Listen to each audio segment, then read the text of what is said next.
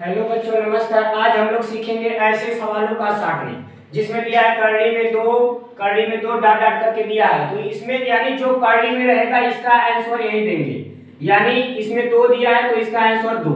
अब यहाँ पे करली में पाँच लिखा है, यानी डाट डाट करके तो इसका आंसर क्या हो जाएगा?